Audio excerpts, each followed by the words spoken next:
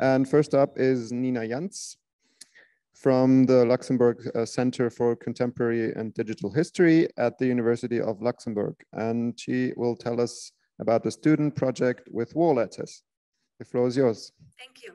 Thank you so much for the invite and possibility to speak here and to present uh, my little, really little student project. Um, a few, use mouse. Ah, okay, a few um, dates or like frame, uh, what was it about? So I'm right now in, in a research project uh, focusing on the war experience of the Luxembourgish men who were conscripted by the German Wehrmacht who had to fight for the Germans. So they were not Germans, but they had to fight. So we have a lot of uh, front letters from these um, uh, soldiers. It was a crowdsourcing campaign, but I could also talk about it, but is not for today. And um, so we have a lot of, like I said, war letters uh, from the front and from home. The challenge is so far this material is very diverse. So we have many languages. It's it's it's written in different handwriting. So we have around five thousand letters and uh, 20 diaries. So it is quite diverse, like I already said. Um, the language, most of the men, Luxembourgers use German because of the censorship. So, but still some sentences are in Luxembourgish and in um, French. But there is no model, for example, uh, in Transkribus for Luxembourgish. So, but we will work on that. It's just like next project. Anyway, so we have a master's program for the um, students at our uh, university. It's a very small one. So we don't have even a bachelor in history. So we have a bachelor um, culture européenne. So they, they study different um, disciplines like also culture, language, and uh, history. But the master program is uh, a program in well, contemporary European um, history with a strong focus on digital history. So this is like quite nice. So the students are uh, trained also in other tools. My seminar was an optional seminar for the students. So um, you might maybe laugh, seven signed up. So it was quite nice. Uh, also, of course, nice to you can work with them quite um, um, well you can work with them with, uh, they can work very independently. And so seven students were in my optional seminar. We had only 90 minutes every week. Um, and we had around 13 lessons, like no, 13 classes, let's say, from, um, from the last summer semester, um, which ran in Luxembourg from February to March, to May, to May even, so. As, as a frame, I cannot, So the procedure.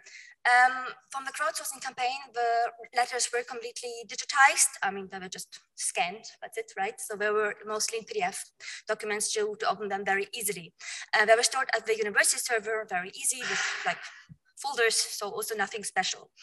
Um, for this um, small uh, student project, I chose a little collection. So it was a case study about the war experience between home and the front. It was important that we have also like the home side, not only from the front, but like uh, kind of from both sides. And we chose a collection uh, from the family Pierrat, who had two brothers. One deserted and one died in the war, unfortunately. So this is a very rich collection.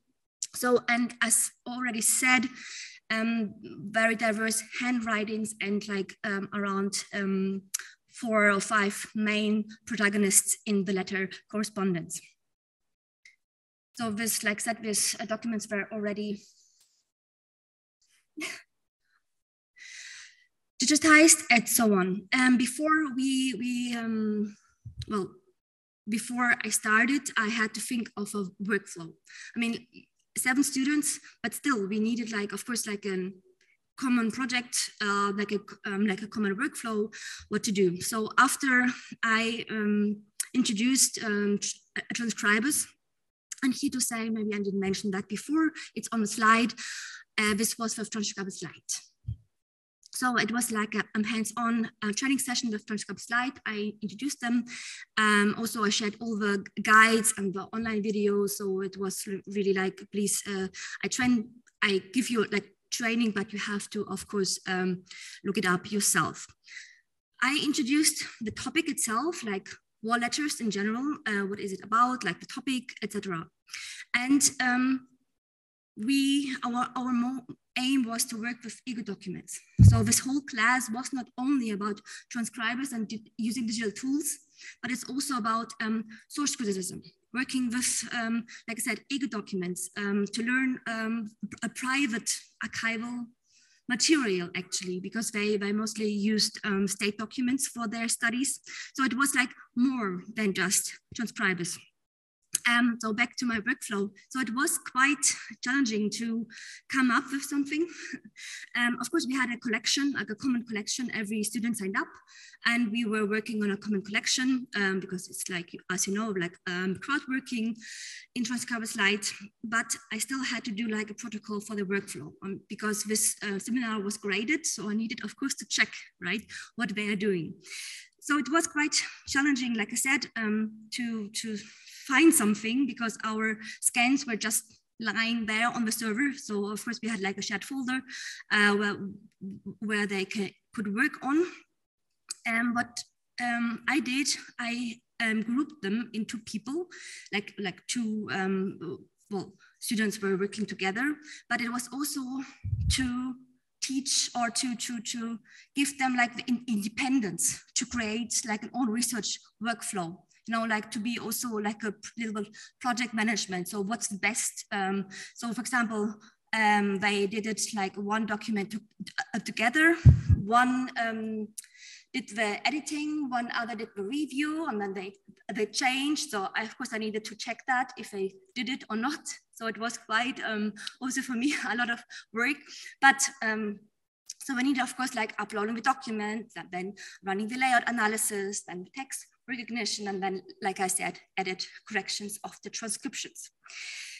Um, then um, it's uh, about the metadata.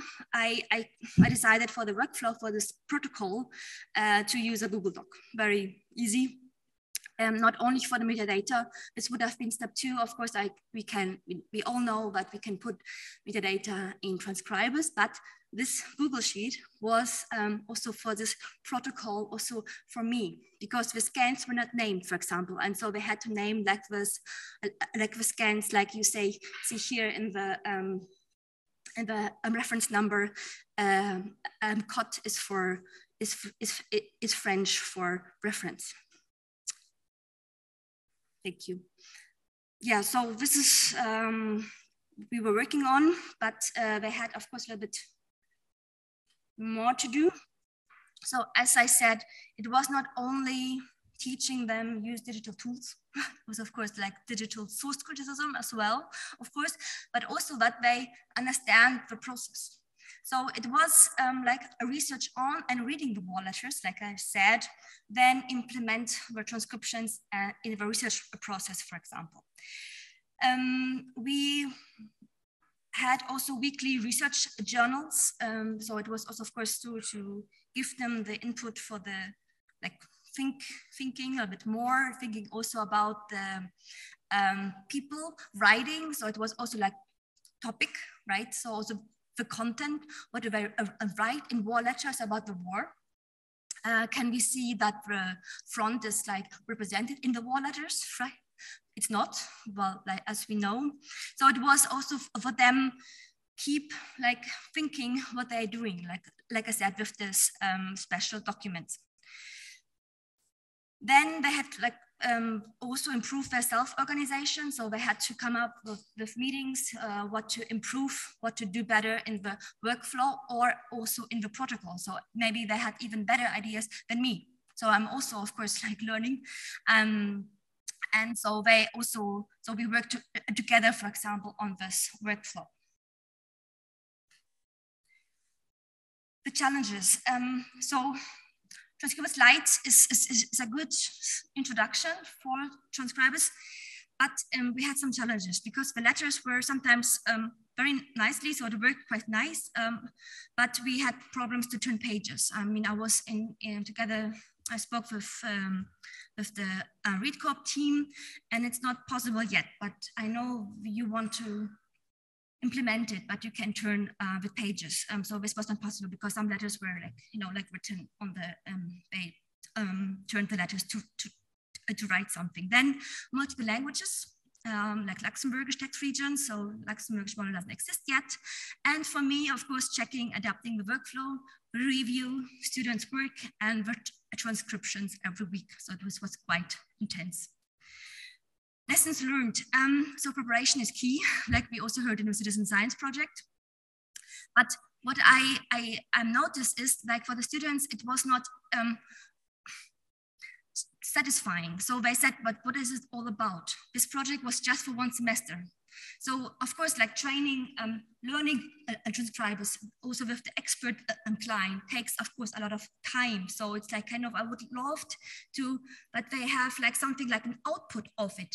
So we didn't have one. For example, if we would create like a website or something, so they, sometimes they didn't get it.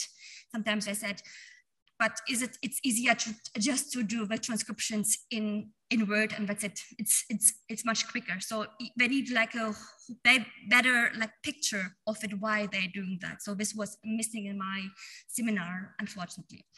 Um, like I said, Transkribus Lite uh, for first trials is nice for small projects, but um, Transkribus with expert client what he declined might be better choice. And also to, I was thinking first, um, it would be too much for the students because it was just 90 minutes every week. But actually they were very smart. They were really engaged. So of course I need and trust the students more and, and really to challenge them in using Transkribus. Um, the expert client. And then the last slide, um, results uh, were still quite satisfying. Um, so they had to create um, like a poster, like also an oral presentation, where they just also were asked about analysis of the wall letters. Like I said, it was also like source criticism, like using ego documents, um, using uh, private material for the, of the research, but also the impact of or the output of digital transcriptions as using Transkribus Lite. So it was like both to combined, and this was quite successful. Thank you.